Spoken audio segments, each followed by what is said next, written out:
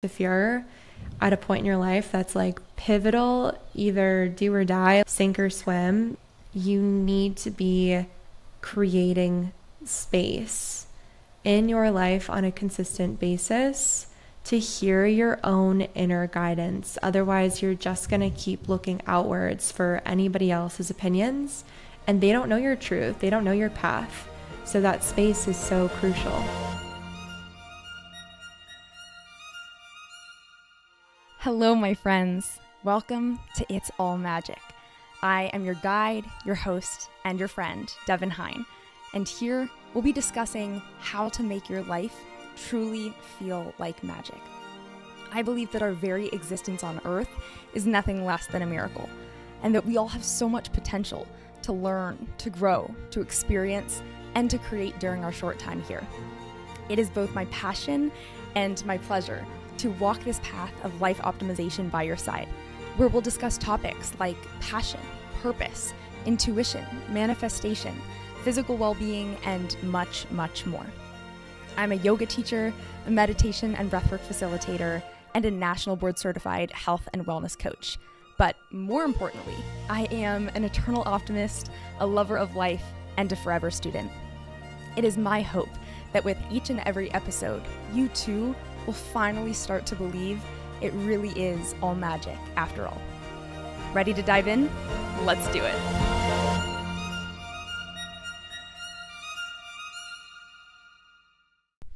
Hey, friends, welcome back to another magical episode of It's All Magic. Today, we have a very magical guest indeed. We are joined by none other than Claire Ollila. She is a trauma informed breathwork facilitator who helps high performing women live essentially the life of their dreams. She helps people find the balance between peace and power using these integration somatic practices like tapping, vocal toning, plant medicine microdosing, breathwork, and much, much more. Today, we will touch on the science and spirituality of breath work. We will touch on anxiety in the body and how that manifests in our lives, manifestation, and so much more. I had such a fantastic time talking to Claire. She is simply a light in this world, but also has this really deeply grounded presence that I hope I one day embody myself as well. So, before we dive into this episode, as always, I want to grant us the opportunity to take a few deep breaths. But because at the end of my interview with Claire, she actually guides us through some breath work herself, I want to keep this one really short and simple. Today, I want us to breathe in through the nose and then seal the lips and hum out of the nose. So you will be humming as you exhale through your nose. It's a very calming breath and it's called bee's breath or humming breath. So we'll do just five of those breaths and then we'll get on into the interview. So if you'd like to close your eyes, I invite you to do so now. And we'll begin with just a deep cleansing breath together. So, breathing in through the nose, filling up all the way. And open mouth, just let this one go. And begin the five. Inhale through the nose. Seal the lips and hum out completely. Mm.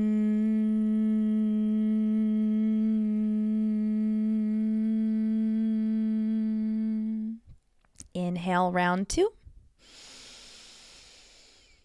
Seal the lips and hum it out. Mm.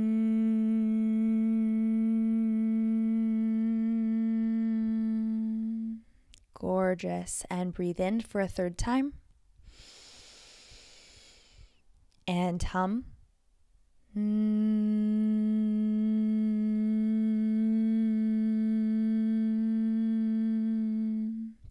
Second to last breath in through the nose and hum.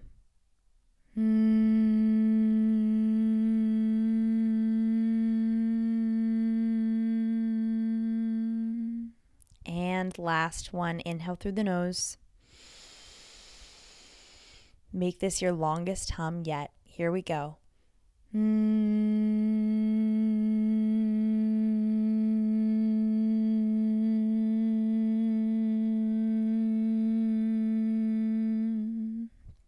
Beautiful. Breathe in through the nose and out through the nose. Hmm. You can flutter open your eyelids. And with that, without further ado, let's get on into the interview. Enjoy, my friends. I'll see you on the other side. Hello, and welcome back to another amazing episode of It's All Magic. Today, we have honestly one of the coolest guests in the world, I think. I don't know if she even knows that I think she's this awesome, but she is a breathwork facilitator that I met at a recent breathwork event I attended in LA that was mind blowing. If you haven't already heard the episode of me recounting my experience at the Awaken Breathwork event, definitely check it out. But Claire was one of the facilitators that was helping guide the experience so masterfully and gracefully. And I was almost giddy when I met her because I have followed her for so many years and I've gotten to watch her journey of just her blossoming and exploring her own practices and what works for her and then sharing them with the world. So, anyway, without further ado, hi Claire, how are you? hey guys, I'm so stoked to be here. Any anyone who I meet through the breathwork world, first of all, is like instant homie. And second of all, meeting at Awaken and having like another connection outside of that just made my heart so full. So I'm really excited to be here and Yeah. have a stellar conversation. Yeah, thank you for being here. And it's so funny. I know I said this to you at the event, but so for anyone listening, when I was checking into the event, Claire was checking me in, and it was one of those situations of I know your face. I know your face. Why do I know your face? Who are you? and I put two and two together. It's like your name instantly clicked in my head, and I was like, oh, the breathwork girl. so I just felt like, do I say something or do I not say something? And I went with, hi, I think you're wonderful. I know you, but I don't know you. And that's about all I have to say. so it led us here. So I'm glad I said something. I'm so glad you did. As also like classic universe just syncing up, like me checking you in that day, of course, right? Exactly. Exactly. So I want to kick it off with the question that I ask all of my It's All Magic interview guests, which is for you, Claire, what makes life truly feel like magic? Mm. Life feels like magic when I'm connected with my purpose and my community. And luckily, those two things overlap in my life. And I think for most people, honestly, it should. But that's been something that I really struggled with for a lot of years was finding like my people, like my tribe. And just in the past couple years has been so flourishing in my life and I'm really grateful for that. So that's what feels like magic in my life is when I'm pursuing my purpose actively and surrounded by people who I genuinely love and who genuinely inspire me along the way. Yeah, I think the sense of community that you found in Austin is so inspiring. Even in the past episodes, podcast episodes you've been on, where I've gotten to hear more about you going from lonelier times in your life to suddenly mm-hmm. meeting all of your people in Austin.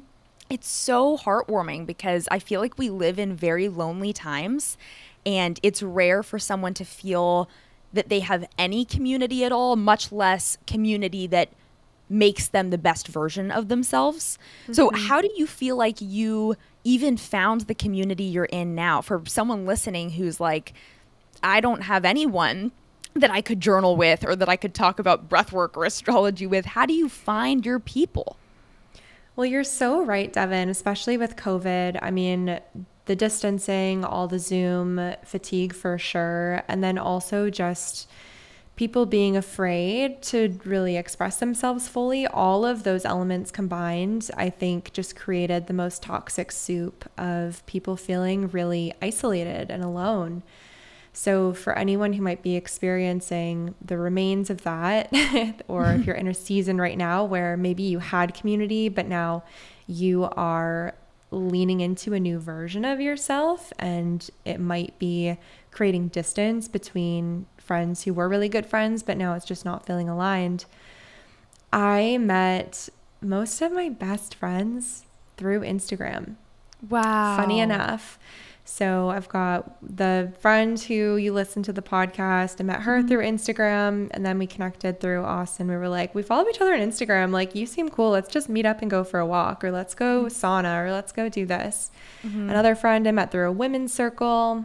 Um, another friend I met at the sauna. So I think the more that you can actively pursue what lights you up, even if you are going to a yoga class alone or going to a, a breathwork class on your own or going to a group like public sauna and just connecting like actually go out of your way to connect and just chat with people and you don't have to be best friends instantly but the more Yeah. that you can practice being first of all being in the places where you're likely going to find people who inspire you and also, if you don't live in an area where that's really common, seek that out through online connections because you never know. I mean, look at me and Devon right here.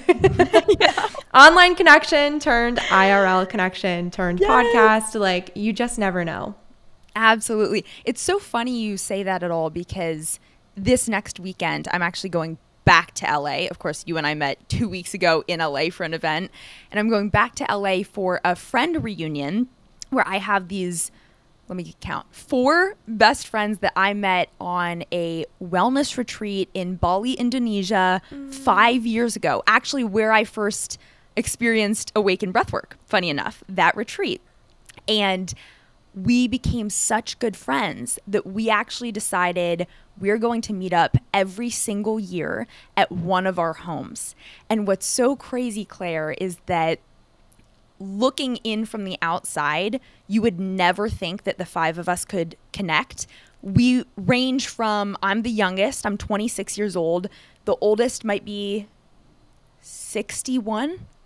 We are all like the full spectrum of ages, every single one of us, different ethnicities, religions. One girl is from the country of Qatar, Middle East. One is from Colombia in South America. We have like nothing aligns except for our values and our hmm. interests and our vulnerability. And so we have done the impossible of, you know, how many times have you been at some sort of event or retreat? It's like, oh my gosh, we should get together. We should do this every year. and then it's like, wow, five years later, we've done it every single Yeah. year. We've been to one of the ladies' houses in Minnesota. We've been to San Diego. We've been to LA. Like, we're going to Qatar one year. And so I think, as you said, going to the events or going to the spaces that light you up and therefore hold the people that will be interested in the same things, like, just put yourself out there. I was terrified flying to Bali, Indonesia alone for a retreat where I knew no one and it was the most transformational thing. And so I mm-hmm. think you're you're spot on with everything you said. Well, think about it. Like, what bonds people together normally is maybe sharing the same age and you happen to be in school together and you grow up together, or maybe location because you're neighbors and so you've got that like childhood friend turned adult friend thing, or maybe you just happen to work together, so you're work buddies. But those are all very superficial things to have in common. Mm-hmm. And the real, like, soul connections are when you share values with people. When you share, you know, maybe health as a top value or growth or vitality or aliveness, like expression. All of these things are like the real glue that hold a friendship together. So I am not shocked at all that y'all were on this retreat, had an amazing transformational experience together. Mm-hmm. And then the fact that you guys have been consistent every single year to meet up is so dope. So Yeah. dope. Oh my and gosh. so rare. Like we don't even understand how that's happened, but it has. so, taking a step back from community for a second because obviously community is so essential, but a big part of finding your people is first finding you and mm-hmm. finding who you are and what you value. So, I want to start with the question of what do you do, Claire? And more importantly, why do you do what you do? What I do, I feel like, um, have you seen that meme that's like me explaining to people what I do for work? And it's like this space person like pulling a human through a portal, like in outer space. it's so true. Well, it's honestly the question of like, who are you? What do you do? Is the most feared question. It's terrifying. It's, It's so, so hard. So we'll just start small. We'll build throughout the episode. No pressure, my friend.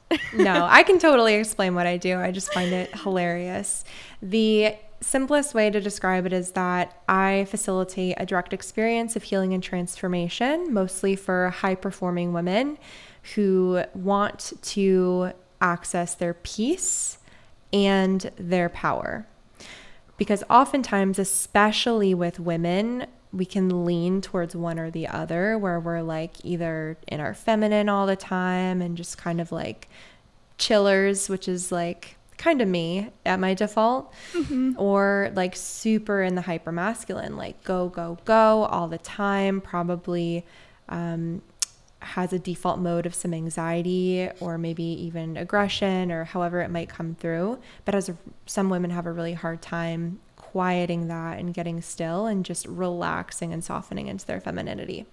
So I use tools like breath work, like microdosing, like other integration tools and techniques to help women balance those different energies within them and ultimately create a life where they feel resilient and in their fullest expression and alive.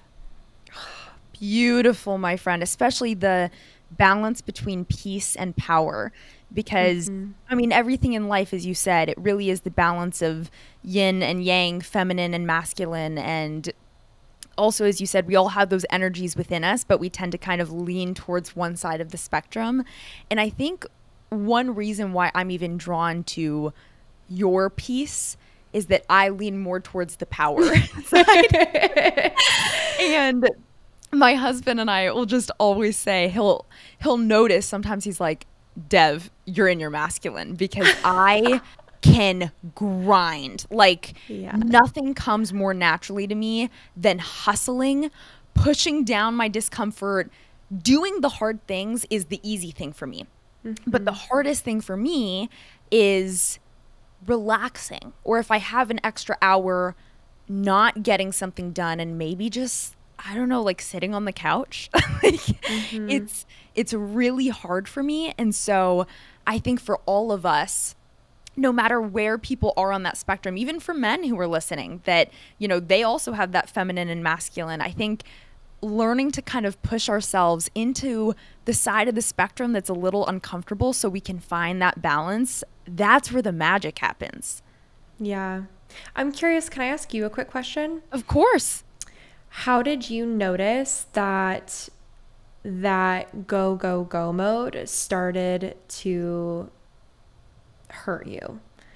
Because for a lot of people that productivity is a benefit, right? It's like, "Oh man, I wish I could I could hustle," you know?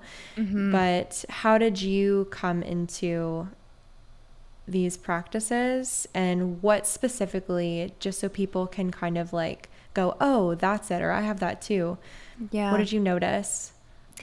honestly, it's a great question. I've noticed it my entire life. Just for context, when I was, it might have been in second grade, my teacher pulled me out of class one day and literally said, Stop working so hard. I was in second grade. And that continued through my whole life in high school. I believe it was maybe 11th grade. My history teacher one day pulled me aside after class and said, I want you to not study for the next test. And he said, if you do not get the A plus that you want, I will literally ignore your grade. I won't put it in. And so I'm saying this not to brag about work ethic or whatever, but to say that it has been I mean, it might have been a crutch. Maybe that's where I find my sense of self worth. I have no doubt that it is. But my whole life, it's like my identity has been I'm the hardest worker in the wor- in the room. Mm-hmm. And I very much get that from my family. Not even that they put pressure on me. They were always like, Dev, stop working so hard. But when I look at them, especially my dad, is the hardest worker I know. My entire life, he's woken up at 5:30 a.m. exactly on the dot to do his same hour workout every single day. I mean, high-powered executive in Silicon Valley turned into a university president. Like I look around at the people that I admire and I see work ethic. Mm-hmm. And so I have embodied that in my own way. But your question of how did you know it hurt you? I have been an anxious wreck my whole life. so I very much struggle with just complete burnout. And even in the present moment i i actually haven't shared this with you but one one month ago i actually quit a corporate job that i was in. I'd only been in it for a year and a half. I had done my own health and wellness entrepreneurs entrepreneurship stuff before I joined that. And then, long story short, got totally burned out because I worked mm-hmm. so freaking hard and I wasn't getting much back. And so I decided to go more of a conventional path. And pretty quickly, once I'd started that, my soul, my heart, my gut was saying, this isn't it. Like your heart still lies in this other world but you have to do it differently this time, Dev. Like you have to, or it won't work. And so here I am, just a month into the game. I had started my podcast while I was still at my job, but it's so interesting how easily I fall into complete overworking. I mean, I mm-hmm. spend 50 to 60 hours a week on this podcast alone. And it's just interesting that our patterns repeat it's it's one of those I've talked about this quote on the podcast of you live it till you learn it. like mm. notice the freaking pattern or it's going to keep repeating. Yes. So I just yeah, so many things. I mean, exhaustion, fatigue, burnout, anxiety and I mean the the gift and the burden is that I can override that until you can't. Mm-hmm. So that's my long-winded answer of saying this is a lifelong pursuit and journey. And uh, any words of wisdom you have would be warmly welcomed.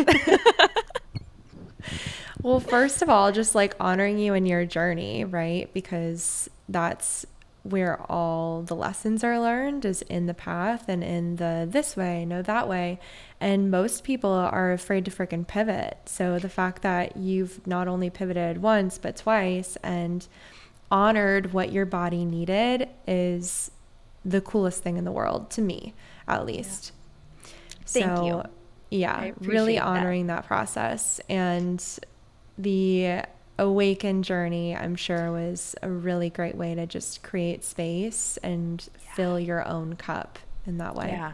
Yeah, absolutely. And every time I've done breath work in the way that you facilitate or Awaken mm-hmm. Breathwork facilitates, which we'll get into, I've often connected, pretty much every time I've connected with my inner child mm-hmm. because she feels so neglected and she is sunshiny and warm and she loves to dance and sing and wear her Tinkerbell costume. and she's awesome but she's also this scared, anxious little girl mm-hmm. that started working too hard far too young. And so I'm constantly trying to reconnect with her and tend to her and ask her, What do you need, little Dev? Like, I'm here for you. So that's that's the journey for me. But speaking of childhood, I wanted to ask you, you know, when you think about the work that you do now as this healer woman, this space holder, this breathwork facilitator, what experiences or influences throughout your life, let's say childhood, adolescence, even earlier adult years, what experiences or influences do you think guided you to becoming the space holder, healer woman that you are today?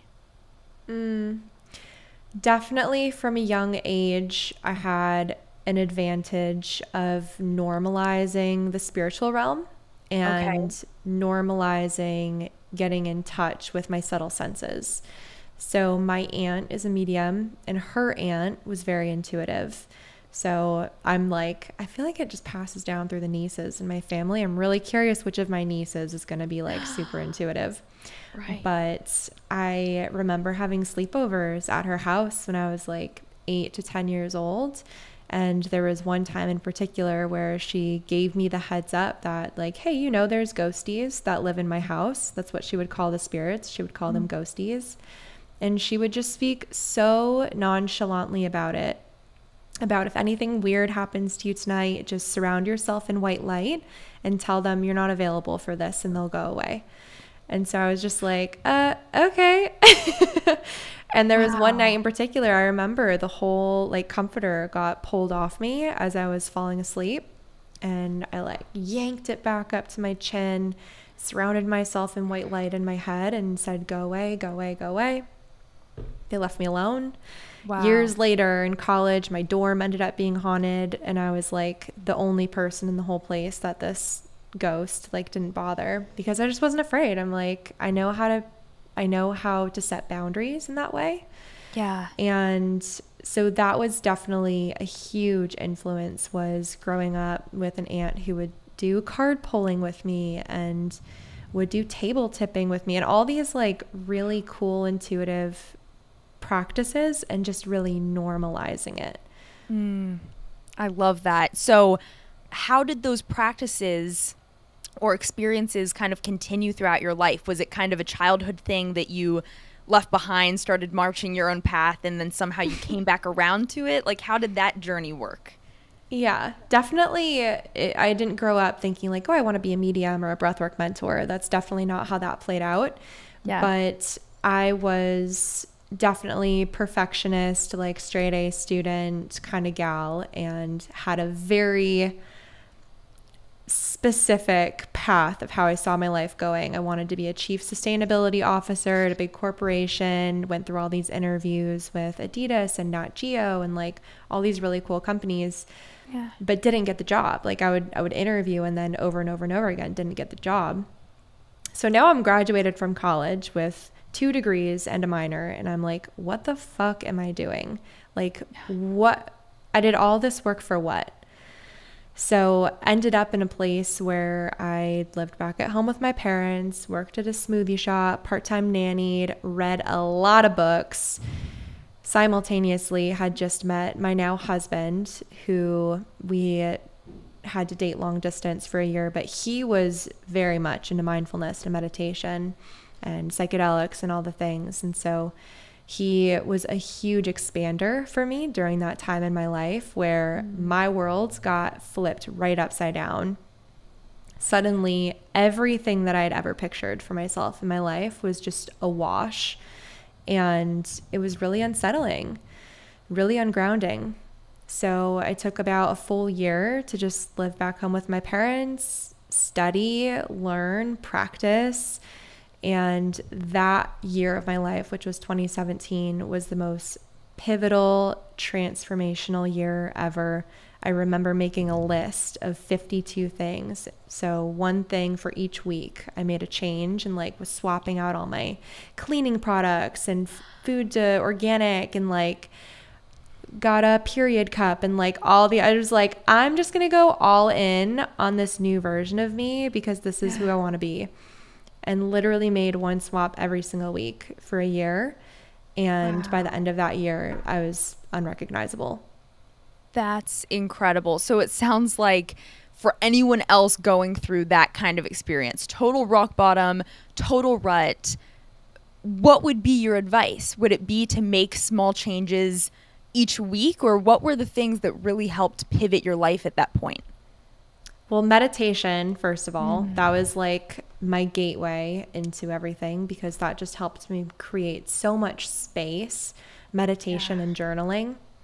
And then eventually breathwork came in the picture for me. So I would highly recommend, honestly, if anyone's listening and you struggle with meditation, please try breathwork and don't just try one kind of breathwork. Try multiple kinds of breathwork because mm-hmm. I hated breath work when I first tried it. It did not resonate with me. I did not think it was for me. I did not come back to it for a long, long time until I did with different facilitators and different techniques. And then I just absolutely fell in love with it. So that would be my recommendation first and foremost. If you're at a point in your life that's like pivotal, either do or die, like either I sink or swim, like you need to be creating space in your life on a consistent basis to hear your own inner guidance. Otherwise, you're just going to keep looking outwards for anybody else's opinions, and they don't know your truth, they don't know your path. So, that space is so crucial. Yeah, so well said. It honestly, your 52 things reminds me of something mm-hmm. that I also did in my own life when I hit times of, oh my God, please tell me something's going to go right soon. I created this thing in college.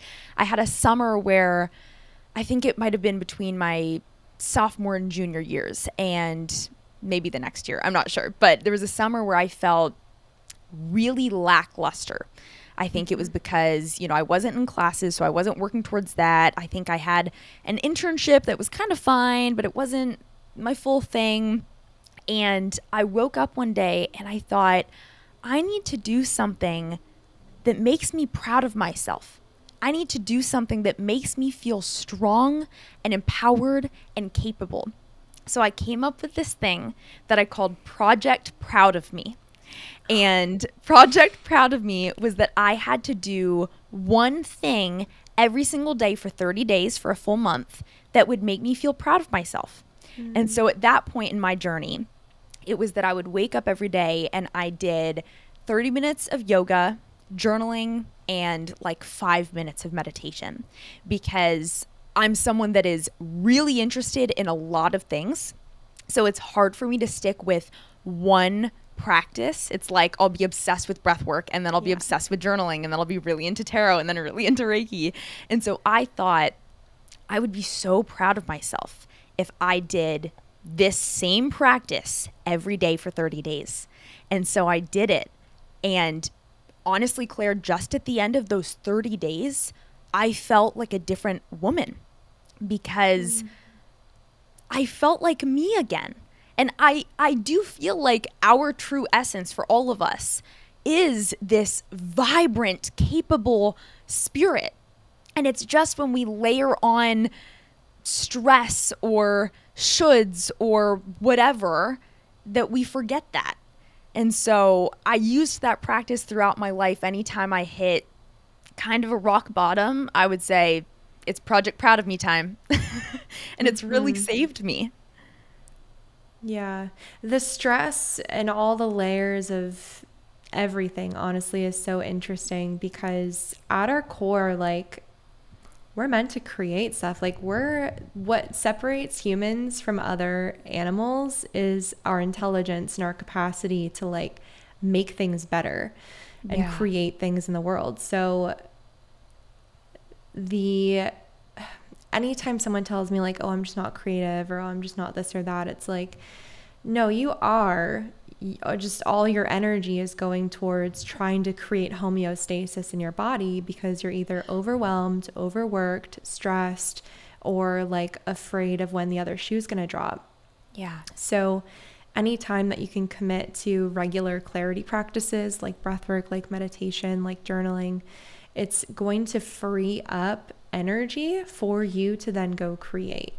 Because mm-hmm. when you're not busy consuming all of your energy for just trying to create balance in the body mind system, then that energy gets to go somewhere else. And that's what really excites me about this work is yes, let's get you regulated. Yes, let's teach you self-soothing practices. Yes, let's get you in balance.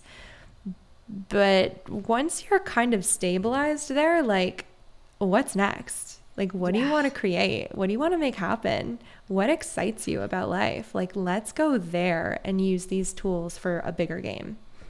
Absolutely. It reminds me of Maslow's hierarchy of needs in mm-hmm. psychology, mm-hmm. if you're familiar with that. Just yes. that once you have mastered your survival needs and you can move up to relationships and eventually to self actualization, it's like on this podcast, even when I talk about pursuing your purpose and being unapologetically ambitious about it and like go for your dreams, there are times where I'll sit back and I think it's a shame that in some ways it is a privilege to even be able to say that. And I don't think it should be a privilege. I think it is everyone's God given right to fulfill the duty, the role that they came into this world to fulfill. And yet, because of the way our world is set up, et cetera, et cetera, sometimes it is a privilege to even other, utter the word purpose. For some people, it's just about getting food on the table or keeping a roof over their heads. And so I I recognize that a lot in what I say because I I just imagine a different world where everyone can truly live the life they came here to live. Mm-hmm. But anyway, all of that is to say I completely agree with you that that once you can get past that that stage, it's like, "Oh, I do actually have a lot of creative energy. Oh my gosh, I'm creative." I can create things. It's amazing. and creative, like, doesn't have to mean making a watercolor picture or like yeah. you know like creation energy can even just ha- be having the guts to set a boundary with somebody or like have a hard conversation or maybe yeah. explore options outside of what your normal default day looks like so Absolutely. I just want to make that distinction for people listening. When I say creation energy, I'm not necessarily saying like go dance or sing a song. I'm saying like, yeah. What do you want to make real in your life from yes. the non physical into the physical? Yes, but also go dance and sing a song. But uh, yeah, do it while dancing, like please, because that's even better. exactly. So going back for a second to that time of your rut. I believe based on your Instagram that was 2017 era ish. Yep. So at that time, you engage in these practices, 52 changes you make in your life. And I know at some point after that, you got into mindset coaching mm-hmm. and helping these high performing women with mindsets for success and balance in their life, all of that. Can you walk us through kind of what that journey was like getting into that and what were the the practices, the techniques that you were helping women with? Yeah, so it was a three month program called Freedom Mindset Academy. 20 women went through it. It was absolutely beautiful, like my baby. I loved it so much, got great results. And some of the practices included included meditation and mindfulness techniques. Also, there was a conscious discomfort module with cold showers and rewiring your stress response. So a little bit of somatic stuff there. And then some hypnosis work as well. So there was some NLP mixed in there with hypnosis, which was really powerful. However, what I noticed first in myself and then kind of had the aha moment was that I was starting to struggle with keeping up with my own progress because a lot of these mental cognitive processes just weren't really sticking with me. Like i had to keep going back into them and not feeling like i was really like stabilizing a new baseline. So they kind of helped at first and then i hit like this wall where like my own tools weren't working and I was a little mm-hmm. disoriented like, well, shit, if they're not working for me, then how can these work for my clients long term? So, the big switch for me was kind of a combination of things. Um, one definitely had some very powerful experiences with non ordinary states of consciousness through mm. breath work, through other medicinal uses of substances to assist in that process. And also, I got really, I was really sick. I had an mm. allergy that I was trying to heal for years and years and years, but the doctors weren't figuring out that it was an allergy. They thought it was this other thing and then this other thing and kept giving me all these creams and prescriptions. And I was like, okay, I don't think you guys actually know what you're talking about ended up discovering it was an allergy on my own. And through tapping, actually, I was able to start to reduce my fear load of reintroducing those foods back into my diet. And now I'm able to eat certain foods that I wasn't able to eat before. So that whole process of discovering the power of my own somatic intelligence and also the deeper layer of wisdom within was really what brought me to breath work and like okay this is what i need to not just learn about but master. Like i want to be a masterful facilitator and that's what brought me to hella and lucas because they were offering this nine month training, trauma informed, balancing the science, spirituality, physiology, with 19 hour long breathwork journeys over the course of nine months. It was absolutely life changing and the best thing I ever did.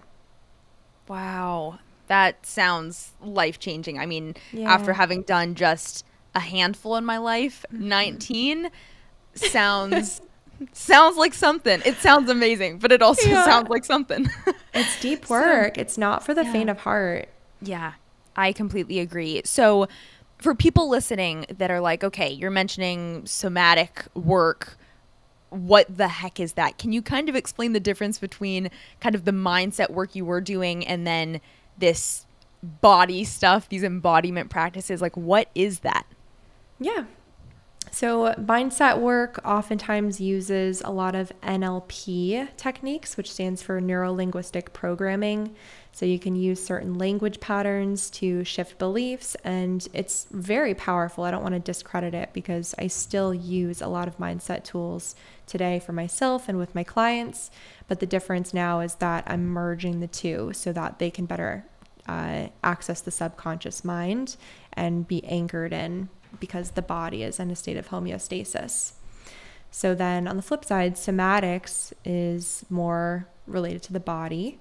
So breath work, for example, on a mm-hmm. physical mm-hmm. level, you are sending your breath in and out and it's expanding your diaphragm, it's creating space in the physical body. You're also activating your limbic brain, which processes emotions and memories outside of a sense of time. So, when you go into a breathwork journey, what I really love about it is it's a very holistic approach across physical, mental, emotional, and spiritual.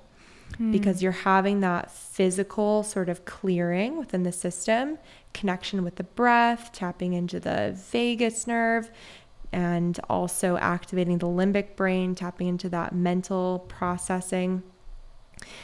Because you're activating your limbic brain, now you have access to all of these emotions that could be from years and years and years ago. But because it operates outside of a sense of time, you're able to bring them into the now, process those old emotions in the now, complete the loop, complete any stress response or survival response that maybe in the past it wasn't an appropriate moment or context to have a full release or a full response. So you get to close that loop in the now and create harmony within the body mind system. And then on the spiritual level, that's a whole other thing, but you really gain access to your inner wisdom. Many people report um, getting, gaining wisdom from past loved ones and having really meaningful connections. So that's not to be overlooked as well. Absolutely. And I think it's also important to note that when we're talking about breath work in this context, it's different mm-hmm. than the techniques I guide at the beginning of these episodes. Those are also healing and powerful, but when we're talking about breath work, can you kind of break down what kind of breath you are referring to and what these breathwork journeys look like? Yeah. So typically it's a combination of what's called activation and restorative breath work. So restorative breath work is very gentle. It's just a gentle breath in and out through your nose, very grounding, very soothing. Activation breath work makes up the bulk of these journeys and often looks like a deep and full breath in and out through your mouth where you're not only sending the breath down into the belly is which is what a lot of breath techniques really emphasize expanding your belly space maybe the diaphragm but it's a full body breath. So you're sending this breath into your lower belly your abdomen diaphragm chest all the way up to the clavicle And you are essentially creating a conscious hyperventilation to activate the sympathetic nervous system so that you can be in a stress response in a controlled, safe, nourishing, loving setting.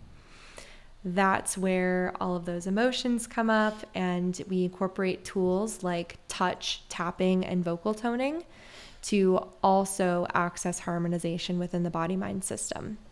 Yeah, so well explained. And if anyone listening has heard my episode where I explain my experience with the Awaken Breathwork event recently, and I mean, I talk about how you can hear hundreds of people sobbing, mm. screaming, making sounds, moaning, groaning, and it is such a powerful release.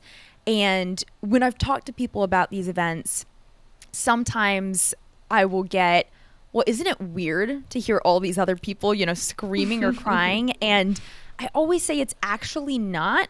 By hearing them have their own experience, it gives us permission to yeah. do the same thing. And so it's, I just always like to say, like, no one, people that haven't had this experience can't even fathom how powerful and life transformational they can be. Yeah. I just was on another podcast the other day and I was talking about expression. Mm. And it's such a funny thing. The way that someone else responds to other people emotions says a lot about their relationship to their own emotions. Mm. Because if someone's crying or is frustrated or whatever, and the first response is, well, what's wrong? Like, even the assumption that something is wrong with that expression, like, is such a telltale sign yeah. rather than asking, you know, what's going on or like, what's real for you or what are you feeling or how does that feel in your body? How can I support? So, to be in a room like that, it can be very intimidating and I honor that. mm-hmm. Even for me, the first time I was like, oh, whoa, this is a lot of energy. Yeah. But that permission slip and to be in that setting and just honor people's processes and honor your own process. And like, you can also use it as a playground to just explore like, what would it feel like to emote in a way that I wouldn't normally? It can yeah. be so empowering. And you had that beautiful photo taken of you with Hella supporting you. I loved yeah. seeing that so much. It was so beautiful. Well, it's so funny when I saw the video. It's like, of course, my eye mask is like half on top of my forehead, half over my eyes, making this ugly crying face. But yeah. I mean, in the moment, it was exactly what I needed. And I mm-hmm. love that you even have talked about that we all go through stressors on a daily basis that we don't allow to exit our body. Yeah. And I had heard once, maybe from another facilitator, that if you look in nature and you see an animal, of course, go through a stressor, I'm sure you've heard this, they will shake. Their body will kind of get rid of that. And then they're done. And the prey mm-hmm. animal is going back about their day.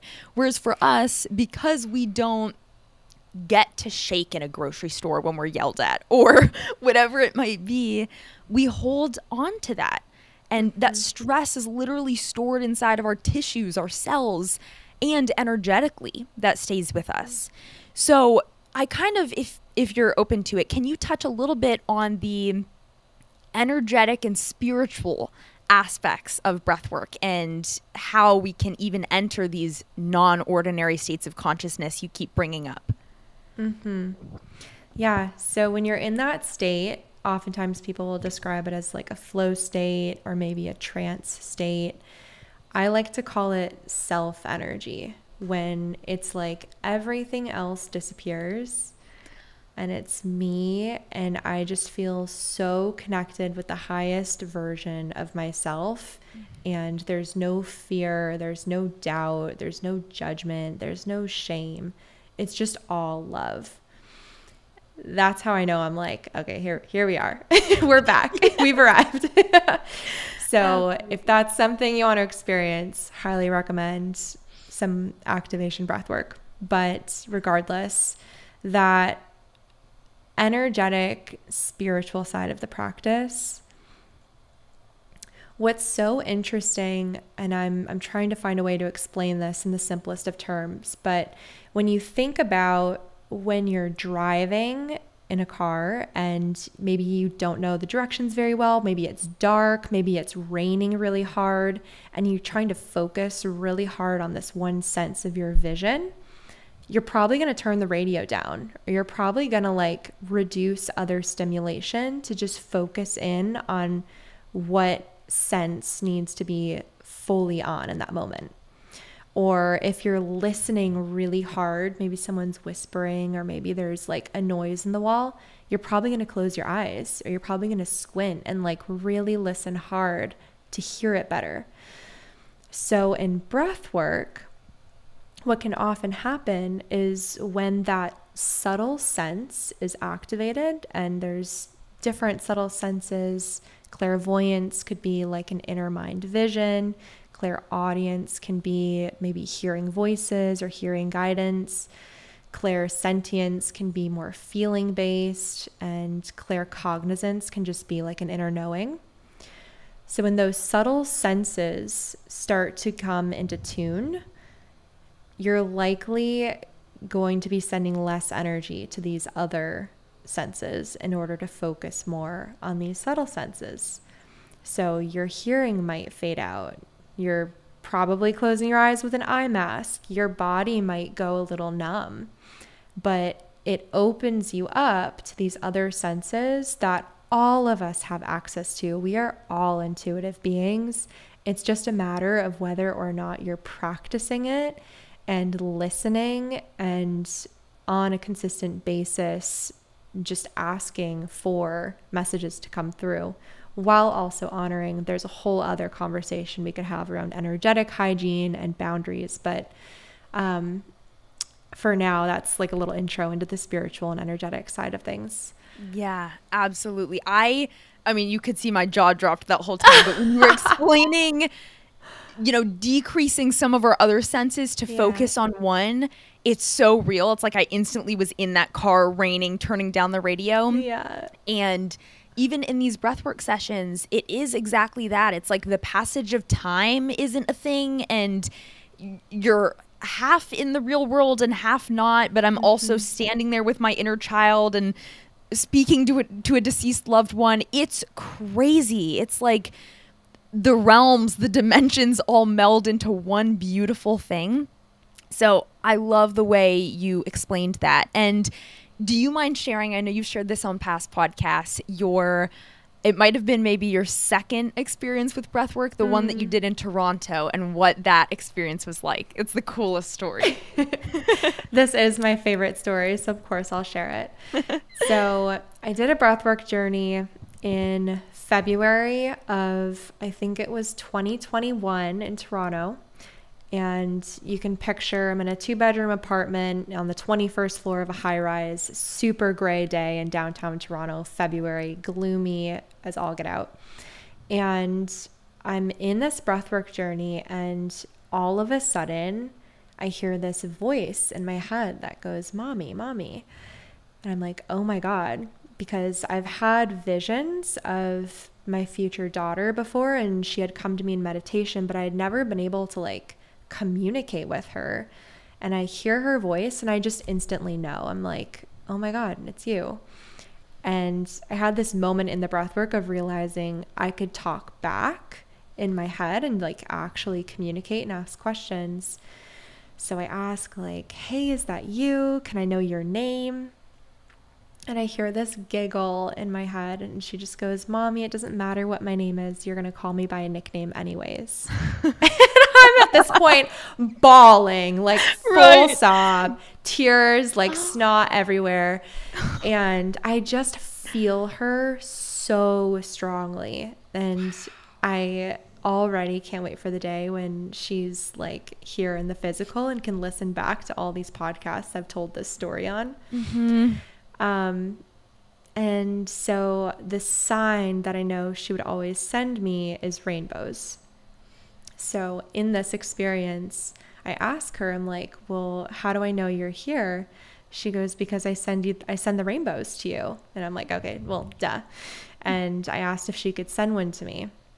she goes, No, I, I don't think so. It's going to be really hard. I can try. But it was so gloomy. It was like snowing. It was disgusting outside. And then a little while later, I hear, Okay, actually, I can, but you're going to have to go out into the other room. So I kind of resolved that, finished my breathwork journey, ground in, and the second I walk out through the door, is a rainbow as fuck journal just sitting on the kitchen table. And I'm just like, you little cutie. Like, oh, oh my God. that so. is wild. I love those stories of communicating with beings, people not yet in this world or in this realm. I think those are so powerful. And I mm-hmm. also have no doubt that when your daughter arrives one day, you'll look down and it'll just be like, I know you. I know you, honey. Welcome. I know. And she actually sent a rainbow in LA when I was out there the day after the Awakened Breathwork journey. I was with a friend walking on the beach and it had kind of rained that morning and then it cleared up. So we walked on the beach. And the second we started talking about babies and motherhood, she goes, Look, a rainbow. And I look behind me and there's just a beautiful rainbow right directly behind me. I'm just like, of course. That's incredible. Of course have you ever heard of the book Spirit Babies? I have, and I need to read it, but I just Me haven't too. yet.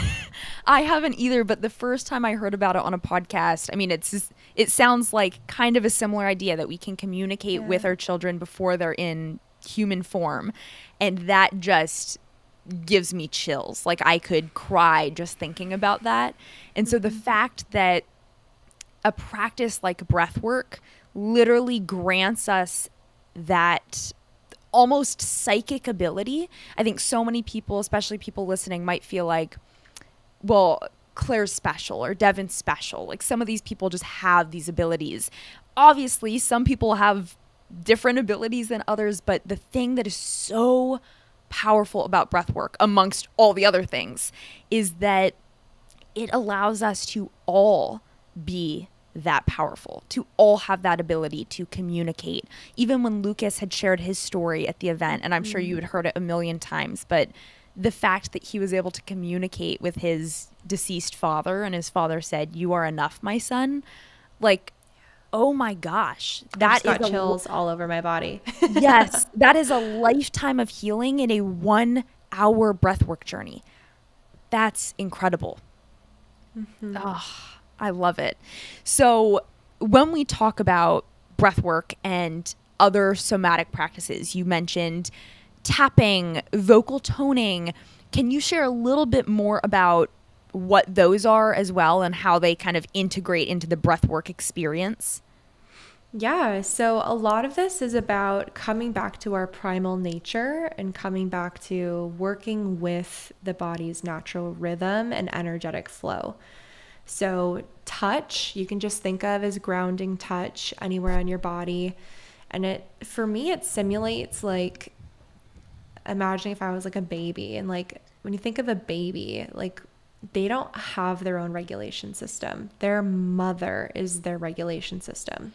So mm-hmm. that touch, to hear a heartbeat, to like sync up with something else is so primal. And you can do that for yourself just by, I mean, skin to skin is best, but however you can access a sort of grounding touch is going to be very soothing.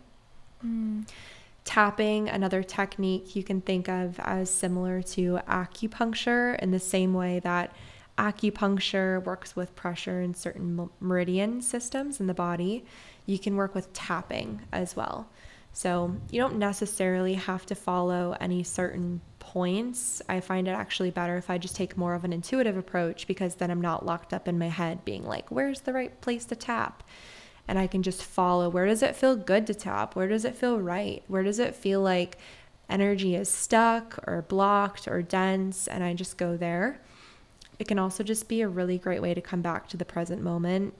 Honestly, talking about like freaking out in a grocery store or mm-hmm. like having anxiety or anything like that, if it's not an appropriate place where you can just whip out a five minute breathwork session or something like that, I'll just tap. There was one mm-hmm. time my friend laughs with me all the time at a music festival. I had my phone stolen. And during the whole rest of the set, I was just tapping and breathing. And then within like an hour, I was just like, all right, whatever it is, what it is. But Yeah. it's such a great way to regulate. And then the Yeah. third tool, vocal toning, works with sound. So it works with your own voice. And you can think of that vibration as just like harmonizing the entire body mind system, just a hum or an ohm, or if there's a lot of energy to move, then maybe screaming into a pillow or whatever you need to do in order to help that energy move and flow. Yeah, absolutely. When I guide breath work at the beginning of these episodes, I will often have us share sound just like you and I did before we started recording. Yeah. So for anyone listening, before we hit record, we were like, "Oh, let's do 10 breaths together. That feels nice." And on the last one, we both were like, "Oh." and it just feels so good. And what's really crazy is I feel like a lot of the practices that you're even sharing, yes, it's great to know the actual technique, but a lot of them almost seem like common sense in the way of, and I don't say that to diminish it, but I'll give an mm-hmm. example. When I was in high school and like early college before I had kind of delved into some of these practices myself, I remember driving to dates with boys and I would be so nervous that I would sing like I would just belt songs. Yeah. And part of it was kind of to amp myself up, but I started noticing that when I sang, when I used my voice voice and also extended that exhale, which I now know, that it calmed me down. And so that's an example of we all know that touch is healing. I mean, we've been told that we need what is it, like 8 hugs a day to regulate, mm. and yet we just don't do these things because they're just not part of our culture. And yet, the second when we're in some sort of stressful, anxiety provoking situation, all we need is to be held, even by ourselves. Yeah. And it can be so healing to hold yourself. Like a lot of people will think that couldn't have the same effect and to an extent, you know, we do need community and we need people, but there arguably is something more powerful about holding yourself through the depths. Yeah. Holding yourself through a deep response or a dense emotion and talk about inner child healing, right? To just reparent yourself in that way and say, I got you. I'm right here. I love you. Thank you, body. Thank you, life. I got you. Yeah, absolutely. And that's a practice that I come back to time and time again. I mean, we talked at the beginning of this episode about how I can find myself in that like severe, intense, overworking place a lot. And when I find myself in those situations, I will even take myself for a walk and just talk to myself the whole time. I probably look insane. I promise you I'm not. but it's it's things of like you're going to be okay, Dev. Like you're to you're to get through this. You're figuring things out. You're doing the best you can. And then sometimes I'll sing myself like a Disney song and mm-hmm. everything is okay in the world. You know what I've been loving lately What? is voice note processing. So Ooh, instead of journaling, I'll go for a walk and I'll have my phone on airplane mode and I'll just record a voice note of myself like either journal dumping or sometimes if I'm feeling like I'm in a creative rut, I'll go for like a 45 minute walk around the neighborhood and just talk until whatever I need to come through comes through and it always does. That is awesome. I will definitely be taking that. Thank Yeah. you. That's amazing. So, one last thing I want to ask about breathwork, kind of going back Yeah. for a second. I know at the Awaken Breathwork event, Hella and Lucas said something about how doing this form of kind of activation breath work, we can access the past, the present, and the mm-hmm. future. So we've been talking a little bit about the past, like past traumas, stressors, anxieties, fears, potentially even things from past lives, if you believe in that. Can you talk to us about how it can help us quote unquote access the future? I mean, for people that are listening that are into manifestation and all of that, how can breath work actually help us with that process?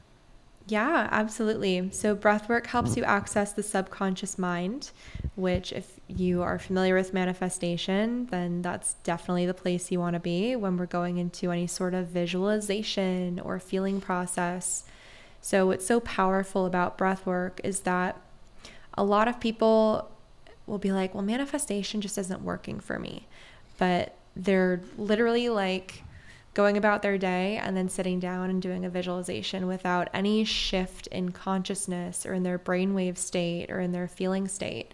And manifestation works best when you're pairing ideally some sort of flow state or trance state in the brain with an intense feeling like gratitude or excitement or joy, and then walking through some sort of visualization or affirmation process. So, um, Lucas, who works with a lot of celebrities and people who are really at the top of their game, what he'll often do with them is guide them through visualizations paired with breath work um, and help people mental rehearse how they want to show up as their highest self in the future in the now and that's how he's been working with Jake Paul, like winning all of these fights. And that's how he's working with really high caliber musicians and artists to help them access that creative potential and flow state. Mm. So for me, I love, I've got a, I've got my own breathwork platform and there's a practice in there called shift from survival to creator mode and that's exactly what that practice is for is shifting out of maybe a dysregulated state and then dropping into a visualization and allowing yourself to access that creative energy within. Yeah, it's so powerful and I love that you're talking about combining visualization with the breath work because mm-hmm. I've often talked on this podcast about how when you visualize it's like your body and mind don't really know the difference between what's real and yeah. what's imagined. And that's why that mental rehearsal, whether you're an NBA player or a whatever, even going into a boardroom, if you have mentally rehearsed, it's as if you've actually practiced. Mm-hmm. And I remember in high school, I was a competitive dancer my whole life. And I would lay in bed the night before a high school rally where we would perform. And I would mentally rehearse the dance. And of course, I didn't know about any of this, but I remember I would visualize the full audience and I would get butterflies. I'd get like nervous, excited, and I would do the dance and I would kind of do the facial expressions. And the next day when I woke up, it's like I felt ready because oh, I practiced last night. And I didn't yeah. even know any of this this science. And so it's amazing that exactly as you said when you compare the visualizations with the feeling and kind of working through the subconscious mind using breath work, it's like you've unlocked a whole other level. Mm-hmm. And it's funny because most people will ask for something that they've never had, but they, when faced with the actual challenge or opportunity that would be like that hinging point into that new reality, they like would have no idea what to do in that scenario. So, to go into breath work, access your subconscious mind, work with visualization techniques, that's the only way that you can actually feel prepared in that moment in an experience that you've never had before. Because if you're asking for something new, what that's requiring of you is to become a version of you that you've never been before. Yeah. So the best way to be prepared for that and to feel confident because talk about imposter syndrome like most people feel that and yeah it's because you're literally trying to do something you've never done before. But you can practice that in these visualization techniques and feel confident and ready and then that just becomes all the more fuel to that prayer and process of being like yeah life throw it at me like i'm ready let's go. Yeah Oh, so beautifully said. I could talk about this topic forever because I've loved manifestation for years, yeah. but it wasn't until more so even in the last year or two, I started learning more about the embodiment side of manifestation because just like you, I was deep in kind of the mindset work for a long time and affirmations and I am not an anxious person. I am a I'm a carefree person. I'm flexible, I'm spontaneous, all of those things. And unless you can actually teach your body to believe them, you're not going to believe them. Like you're not you're not an idiot. so I think pairing that with as you so beautifully said, the real feelings of gratitude or confidence, even if it's feigned for 5 mm-hmm. minutes, like fake it if you have to, your body starts to get used to that emotional state. And in the same way that we have kind of a body set point in terms of weight, I believe we have an emotional set point. And the more mm-hmm. you practice any one emotion, you'll get better and better at it and better at hopping into that emotion regardless of what's happening around you. I'm so glad you brought that up. That's something that I love to talk about is the capacity to feel. And mm-hmm. a lot of people right now, especially with cold plunging and like all these discomfort, stress challenges, yes, it's it's good. Please do go ahead and increase your capacity for stress and discomfort and all of these challenging feelings. But don't forget to also increase your capacity for joy and mm. bliss mm. and gratitude and love because most of us have a ceiling threshold. It's like things are too good. When's the other shoe going to drop? And then you end up manifesting that exact scenario. Yeah. So the more that you can expand also your capacity for the high frequency emotions, recognizing that it's du- life's duality, baby. Like we don't need to force ourselves to be high vibe or like that all the time. Yes. Because everything has its place. But you get to trust life. You get to trust your joy. You get to trust your bliss. And you get to trust that it's not going to leave you.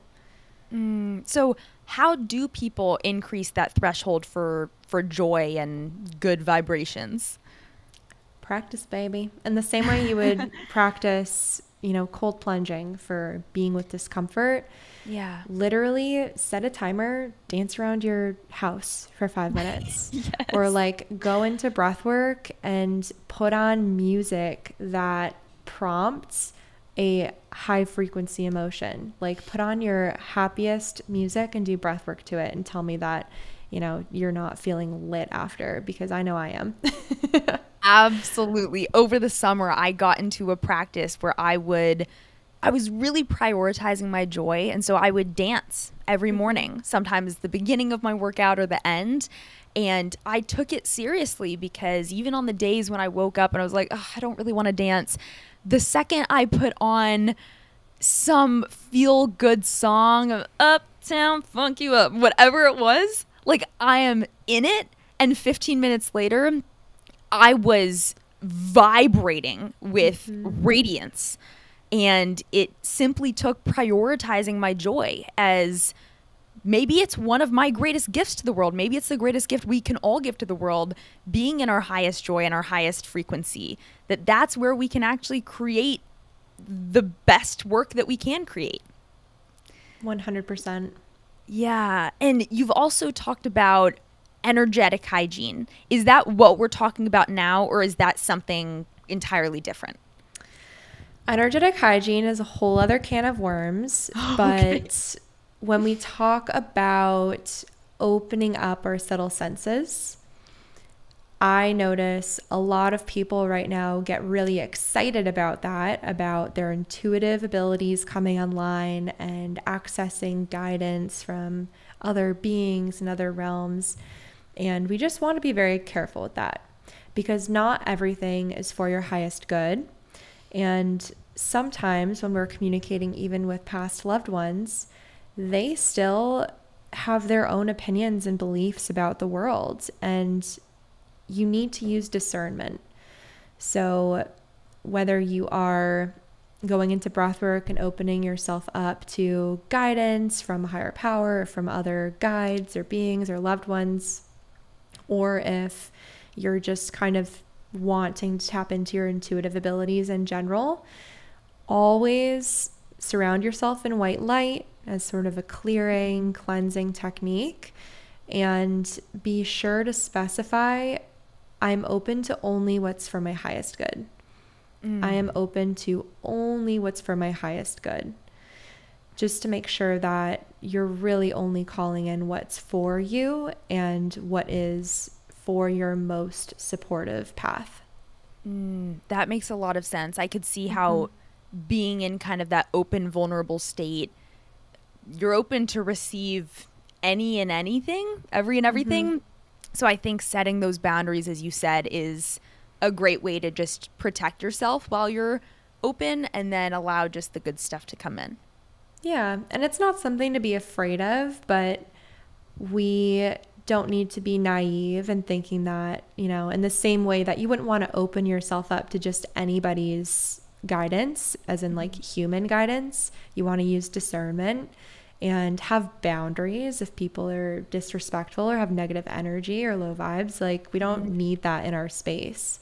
Yeah. It's the same with these other realms and um, other beings and guides. And we don't need to open ourselves up to everything. In fact, it can be harmful if we're just open and then we're like all of a sudden taking on everybody else's shit. And yeah. you don't need that. You know, even with breathwork sessions, it's really important as a facilitator to be clearing my own energy before and after so that I can recognize what's mine and what's not. Because it's not in my client's highest good for me to take on their shit.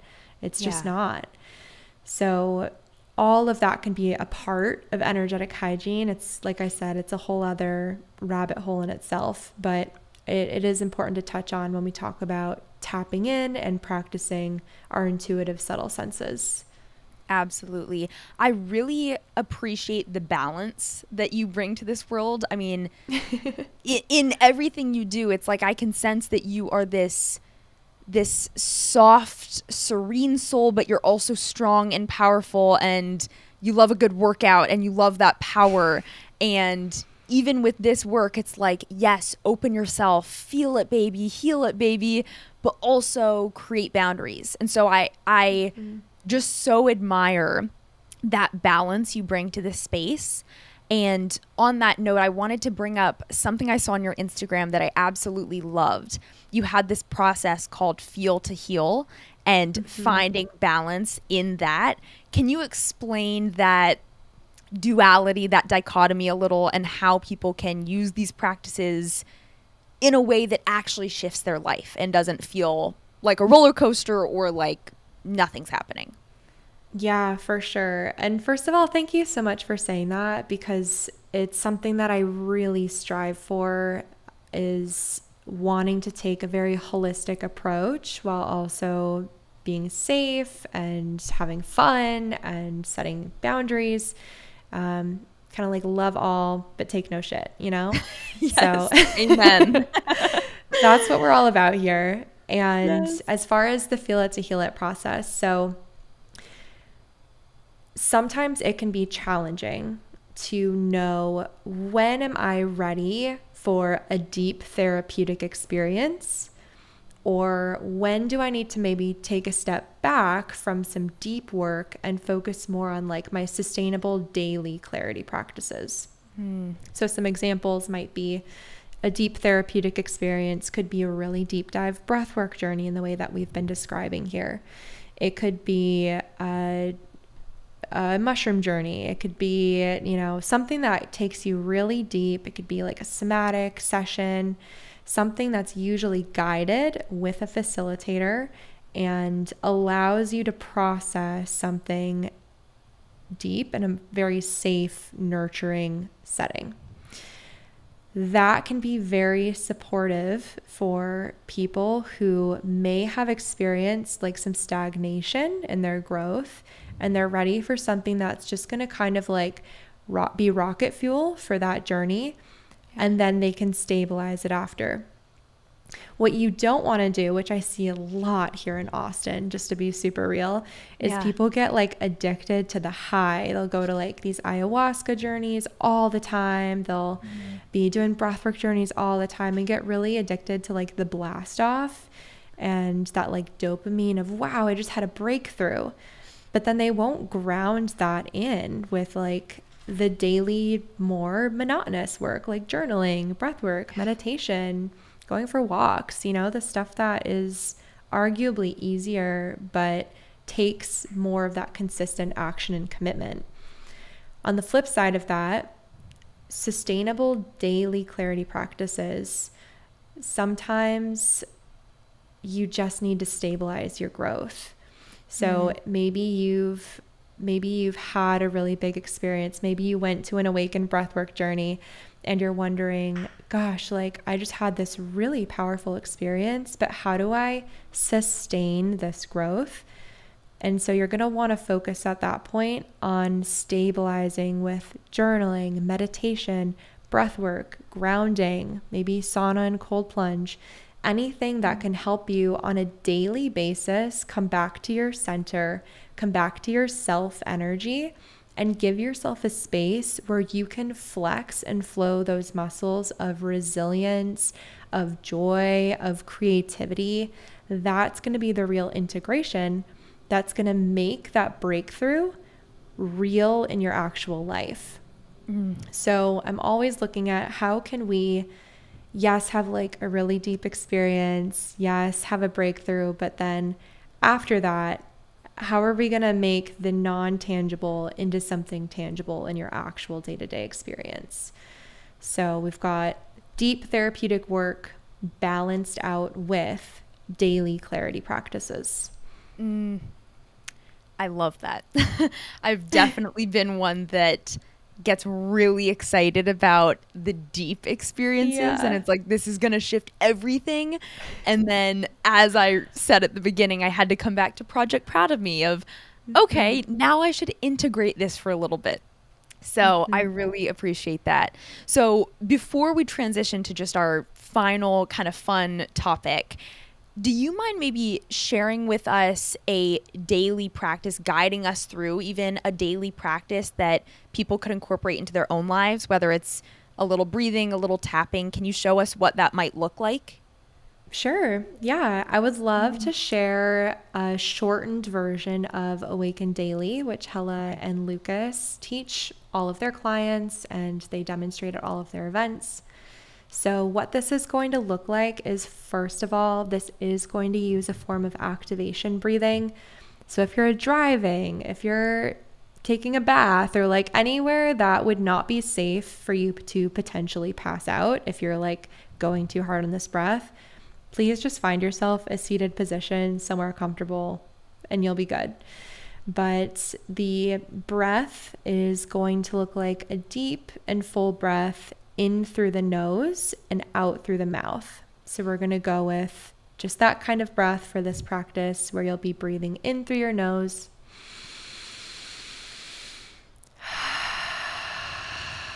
Out through your mouth. I find that this style breath is very beginner friendly because for some people, breathing in and out through your mouth can be a little too activating. So, all we're gonna do here is we're just gonna take 10 breaths, just like that. And then we're going to hold for 10 at the end. And then we'll go for 20 and we'll hold for 20. And then we'll come back to a normal breath. So, a bit of a modified version of what Hella and Lucas guided you through. Okay. But for anyone who is going to try this with us, you might like to place your hands, maybe one hand over your heart, maybe another hand over your belly, just so that you can feel that rise and fall with every breath. And even if your practice today is just realizing, oh, wow, it's really difficult for me to feel the rise and fall, meet yourself where you're at. Meet yourself right there and just practice breathing deep and full, seeing if you can expand your belly, diaphragm, and chest. You ready? I'm ready. All right. The hardest part of this is always just counting while breathing. So I'm going to do my best. okay. I'll count and with you in my head. Thank you. Yeah. And we'll get started here taking a deep breath in through your nose, out through your mouth. For one,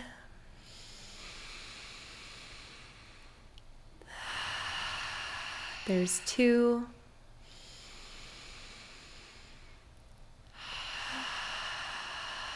Three,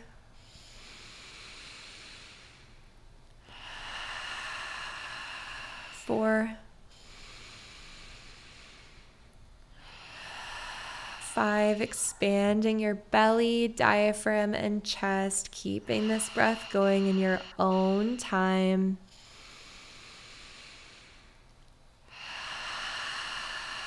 There's seven. We'll take three more and then a hold.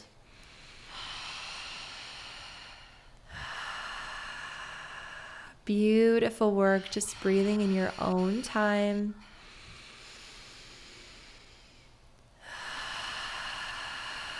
Let's take one more deep breath in through your nose, letting that out through your mouth. And on empty, you'll just hold your breath gently for one, two, three, four, five, six, seven, eight, nine.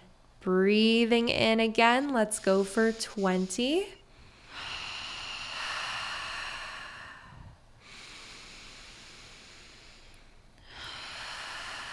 There's two.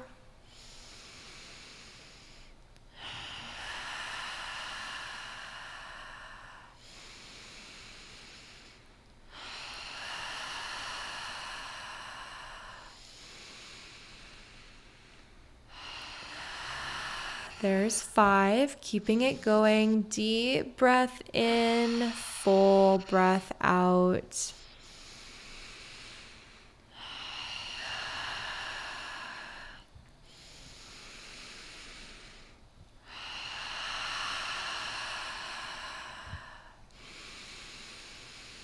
Feeling your hands rise and fall with every breath. Let's go.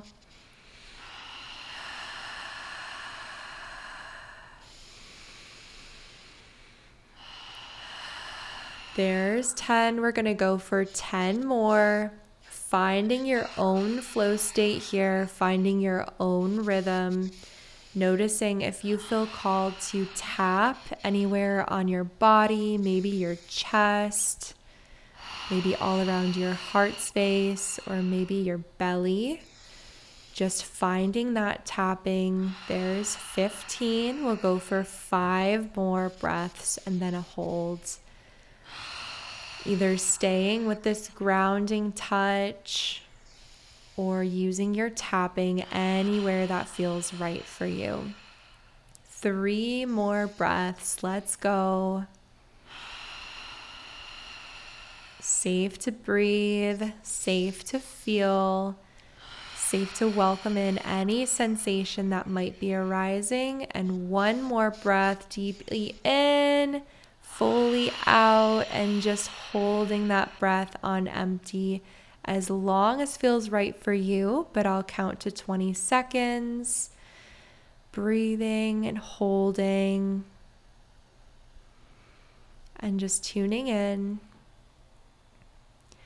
And in this space of clarity, you might like to ask the question What does my inner guidance want me to know right now? Knowing that you can continue holding your breath or you can just take a gentle breath, normal breath, whenever you feel ready. Asking, what does my inner guidance want me to know right now? And if you're still holding, knowing that you can just come back to a gentle breath, a normal grounding breath however feels right for you.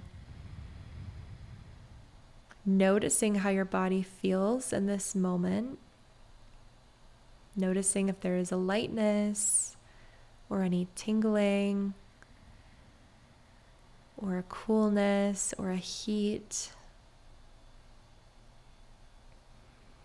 Thank you, body. I love you, body.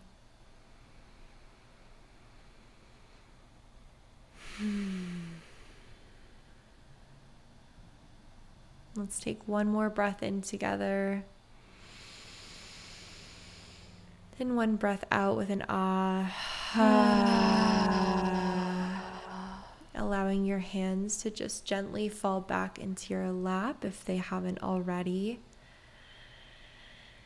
And whenever that feels good, you can just allow your eyes to gently open, maybe taking a look around the space as you notice how you can expand your awareness to the outside world while maintaining your awareness of your inside world.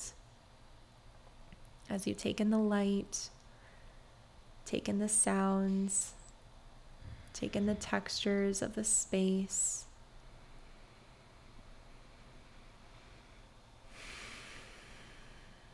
Right back here. Wow. Thank you. that was awesome. The way I feel right now, it almost feels like I had some sort of cathartic release, almost like I cried and now I'm good Mm-hmm. again, even though that was just a few minutes long and I didn't cry. But it's like I I moved through something and now I'm out on the other side and I just feel relaxed and content. So thank you. Mhm. Yeah, absolutely. And if anyone just did that practice with us and you have questions, or maybe you're feeling a sensation and you're curious about it, please feel free to just send me a message on Instagram and ask. I'm more than happy to just chat with you and maybe give you some guidance around it. Yeah, amazing. Thank you so much. So, given the time right now, I will skip the last topic I had in mind, but I'm sure you will be sharing more about it on your Instagram this year. I'll just mention that I was going to ask you a little bit about plant medicine, microdosing. Mm. So, let's just say for anyone who's interested or has no idea what I'm even talking about, are there places that you recommend going to to learn more or places where where that's just discussed or maybe they have studies something along those lines Yeah, absolutely. So I am going to be talking more about this this year. So please feel free to follow along on Instagram. And if you're interested in books, I highly recommend How to Change Your Mind by Mo- Michael Pollan for like the full deep dive experience of learning about the science and the history and the real world experiences of working with medicines like LSD or psilocybin for um, MDMA, if you're interested in the research that's happening right now around healing PTSD in particular with MDMA plus assisted therapy, then I highly, highly recommend the book A Dose of Hope, which is a phenomenal read and it's a very easy read too. Um, so that's something that I'm keeping my eyes very closely on. It's a medicine that's been extremely impactful in my own personal journey.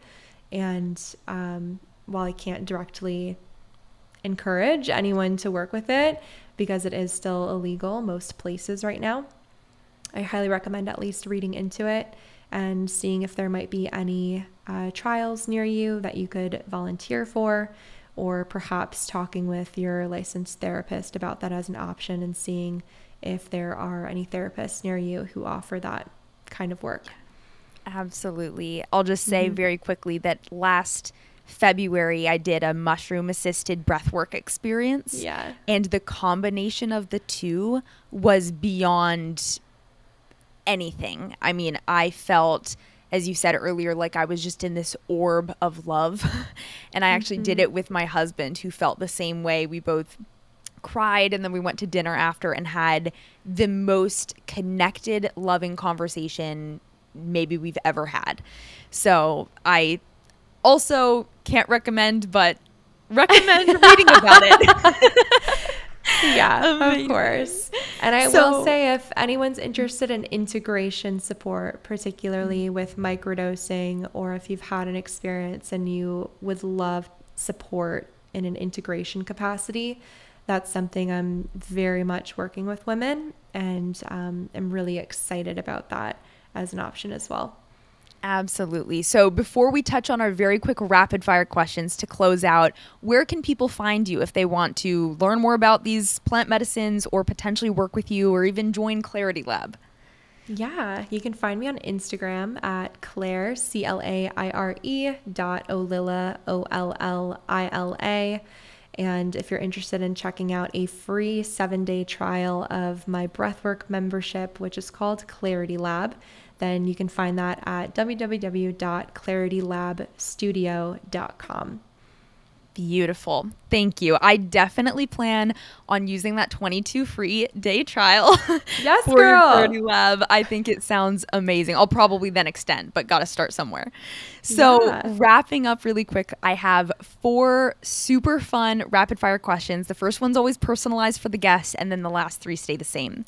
So, the first one, in one word, explain the feeling or experience of a breathwork journey. Ooh, clarity. Love it. Clarity Lab. Second is what spiritual or health practice would you recommend for everyone on the planet? Meditation. Okay. What does this world need most right now for global level up leveling and healing? Humility. I've never heard that one. That's amazing. And then last one, what is your one wish or ask for everyone listening to this today? To love yourself. Mm. Yeah. Beautiful. Like love yourself so hard. Yes. And speak to your inner child every day. Yes. Thank Wow. You. I love you. Oh, thank you so much, Claire. This was amazing. I feel like I just went through a breathwork journey. That was incredible. That was so fun. I've also never answered rapid fire questions that quickly before. And also, I just looked at the time and it's 13344, which there's so many meanings to those numbers for me. But Me too. Yeah. 33 is like my thing. So I'm here for it. well, Well, 44 is the numbers of the awakened facilitator who passed last year, who was in my cohort. And those numbers always show up like in the best of times. Oh So my gosh. We've got So- them both. You're on our side. So this was a message. So people have to listen to this. There's something special about this interview. Well, thank you again, truly from the bottom of my heart, the bottom of the hearts of all of my listeners, and I hope they check you out because you truly are amazing. Keep spreading your love, keep spreading your light, my friend. Thank you so much, Devon. Thank you, everyone, for listening. Big love. Yes, and for everyone listening, we'll see you next week. Bye. Hey, friends. I hope you enjoyed this week's episode as much as I did. This interview with Claire was so much fun, and it's honestly going to take me a while to integrate all of her nuggets of wisdom. And in classic Claire fashion, she would probably recommend taking a while to integrate it. That it's not always a one and done. Take some time to sit with it, to meditate with it, to breathe with it. I think my biggest takeaway from today was simply having more self love, self compassion through all of life's ups and downs, and remembering to speak to our inner children on the days when we desperately need to feel seen, supported, loved, and held. So I will definitely continue to do that. And I also plan on checking out Claire's Clarity Lab because I am definitely not done taking in her wisdom and her amazing toolkit of practices that she teaches her clients.